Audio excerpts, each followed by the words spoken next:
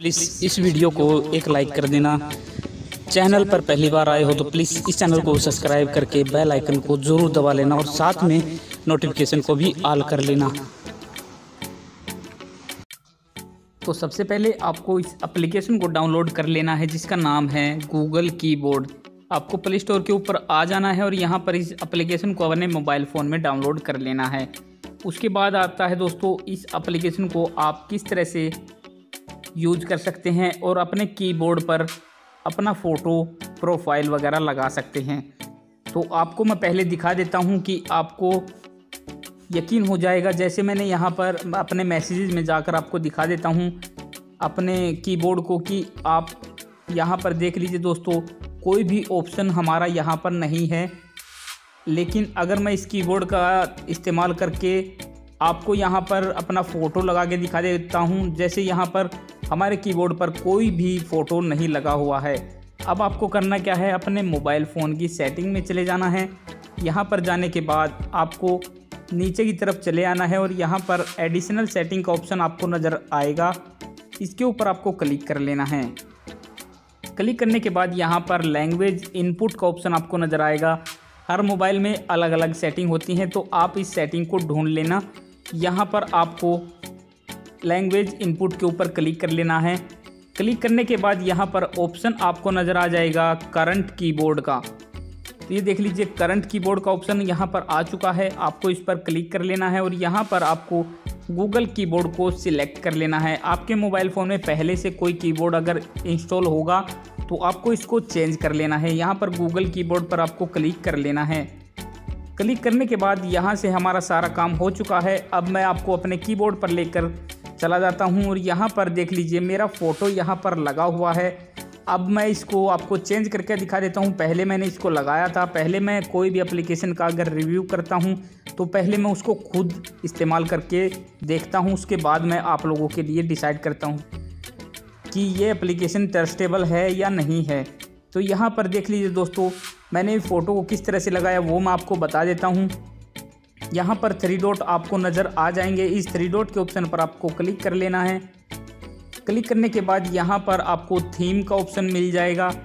आप अपने थीम को यहाँ पर सिलेक्ट कर सकते हैं। बहुत सारी थीम आपको यहाँ पर देखने को मिल जाएँगी। कोई अगर थीम आप डाउनलोड करना चाहते हैं बेसिकली मैं आपको दिखा देता हूँ। जैसे मैंने इस थीम पर क्लिक किया तो ये थीम देख लीजिए, कुछ इस तरह से नज़र आएगी। यहाँ पर बहुत सारी थीम आपको नज़र आएँगी। जिस थीम को आप अपने कीबोर्ड पर लगाना चाहते हैं, उसको आप लगा सकते हैं। अगर आप अपनी गैलरी से किसी फ़ोटो को लगाना चाहते हैं तो यहाँ पर प्लस के आइकन पर आपको क्लिक कर लेना है। ये आपके मोबाइल फ़ोन की गैलरी में आपको लेकर चला जाएगा। अब आपको अपना कोई भी एक फ़ोटो सिलेक्ट कर लेना है। जैसे मैं इस फ़ोटो को सिलेक्ट कर लेता हूँ, और इसको आप जूम इन जूम आउट भी कर सकते हैं। आप जितना चाहें, उतना फ़ोटो यहाँ पर ले सकते हैं, चाहे कितना बड़ा लेना चाहें। आप अपने हिसाब से डिसाइड कर लीजिए दोस्तों कि आपको कितना लेना है। उसके बाद आपको करना क्या है, यहाँ पर नेक्स्ट के बटन पर क्लिक कर लेना है। क्लिक करने के बाद यहाँ पर आपको एक ऑप्शन नज़र आ जाएगा एडजस्ट ब्राइटनेस का। तो ये देख लीजिए, इसका मतलब क्या है? जैसे आपको अपना पूरा फ़ोटो दिखाना है, आप कीबोर्ड को कम दिखाना चाहते हैं तो यहाँ पर इसकी ब्राइटनेस को फुल कर लीजिए। या आप दोनों चीज़ों को थोड़ा थोड़ा दिखाना चाहते हैं तो आपका फ़ोटो भी नज़र आएगा और आपके कीबोर्ड भी नज़र आएँगे।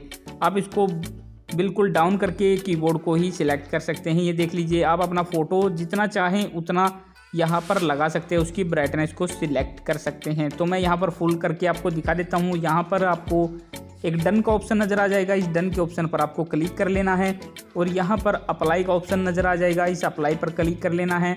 अगर किसी कारण से आप इसको डिलीट करना चाहते हैं, अपने फ़ोटो को दूसरा लगाना चाहते हैं तो यहाँ से आप इसको डिलीट भी कर सकते हैं। अदरवाइज़ अगर आप कोई इस पेंसिल के आइकन पर क्लिक करके अगर आपने जूम ज़्यादा कर लिया है या जूम आउट ज़्यादा कर दिया है तो आप इसको सिलेक्ट कर सकते हैं। और अपने हिसाब से आप इसको एडजस्ट कर सकते हैं। उसके बाद आपको सेव के बटन पर क्लिक कर लेना है। क्लिक करने के बाद यहाँ पर अप्लाई का ऑप्शन नज़र आएगा। इस अप्लाई के ऑप्शन पर आपको क्लिक कर लेना है। अब मैं जैसे अपने कीबोर्ड पर क्लिक करूँगा तो ये देख लीजिए दोस्तों, मेरा फ़ोटो चेंज हो चुका है। और जो पहले मेरा फ़ोटो था, अब मैंने उसको चेंज करके आपको दिखा दिया है और उसको किस तरह से लगाना है अपने कीबोर्ड पर, वो भी मैंने आपको बता दिया है। तो इस तरीके से आप अपने कीबोर्ड पर, अपने मन चाहे फ़ोटो वॉलपेपर थीम लगा सकते हैं।